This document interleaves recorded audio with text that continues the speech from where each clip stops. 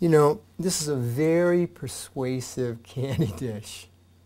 It's persuasive in that depending on where it sits on your desk, it's going to have a big influence not over how much you eat, but also how much you weigh. If we just set this on somebody's desk like this, what we find is that the typical office worker ends up eating about nine of these candies a day. That's 225 calories. If instead what we do is we move it right inside the desk where it's still convenient, but it's a little bit out of sight of, out of their sight, that drops from 89 candies a day down to six candies a day.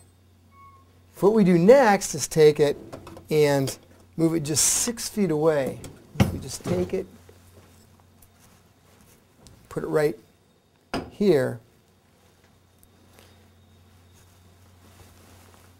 What we end up finding is that the typical person eats only four candies a day. Now over the year, the difference between having the candy just sitting right on your desk and simply six feet away from your desk is a difference of five candies a day, every day for a year. That 125 calories a day adds up into 12 extra pounds over the entire year. It's a very persuasive candy dish.